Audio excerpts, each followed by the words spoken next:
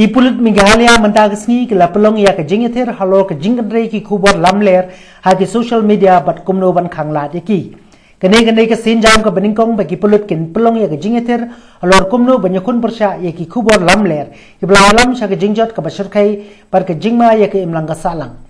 Lapelong ya kene ka jingether ha DGP conference hall shillong ha ka ba social media consultant ka assam bat Meghalaya police us Salik Khan ulang ba hagani ke social media. Kamde ba im tang ki ba khlain tam hanrei ki ba kham shutia tam.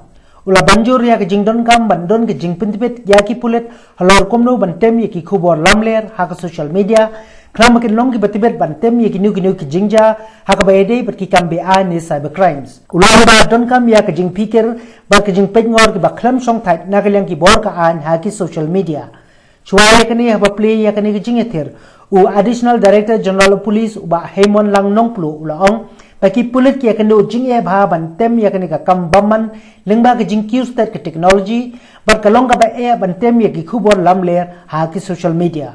Ulong bakum gani ki jingye ther ka jing a jing hi kai kalong ka don kam bha khlang baki officers ki la ban pikir yakinu kinu ki kam ki bala ban yalam pat ban pinmi yaki jing ja ki bam snok tanak Now, fake news and misinformation is being used for many number of reasons. A, uh, fake news and misinformation is also being weaponized, uh, by which there are people with ul ulterior motives. Uh, you know, they want to influence and motivate people uh, in a way which is not positive, and so they use uh, fake news and misinformation to uh, to lead them um, negatively so that is one way by which fake news and misinformation is being used. So, so okay, so there are there are three kinds of uh, uh, fake news. One is uh, misinformation, one is disinformation, and one is uh, malinformation.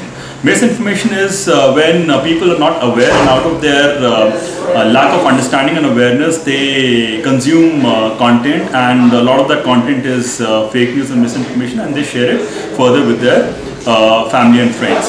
The other is uh, disinformation where, uh, you know, the people, there are organizations, there are individuals, they have agendas and they want to influence people negatively and then they create fake news and misinformation and then they, um, uh, you know, uh, spread this information and um, motivate people to spread it further and that's how fake news goes viral.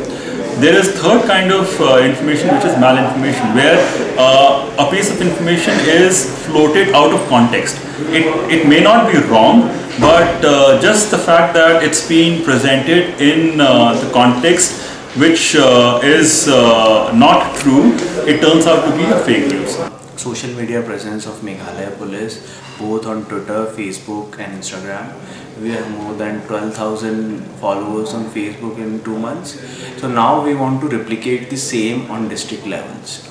So what we have done is that we have appointed nodal officers in districts. They will be managing and handling the district social media account of, so for example, East Khasi Hills would have their individual Twitter, Facebook and Instagram account our journey in uh, Assam started with the fake news. So I always say that you know it's, it's like a phoenix rising, uh, rising from its ashes.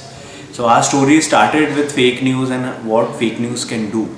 So I am going to discuss few of those case studies which we have you know dealt during uh, last two years in Assam and what we can learn from them and how we can implement the same here so that we can help our department in dealing with this menace of fake news. People here depend on pe people or tourists coming to Shillong. Their, livelihood depends on them. So these kind of incidents can have so so ugly consequences that people don't even realize. Then we have this case of fake news video floating around saying that some uh, Sikh families, 200 Sikh families in Shillong have been kept in a Gurudwara. Uh, this message was video message was floating around on social media a few days back so in the absence of an official channel which can refute all these false claims. The fake news gets so much of uh, expansion because there is no authentic source to it. So the consequences of fake news are real they are ugly.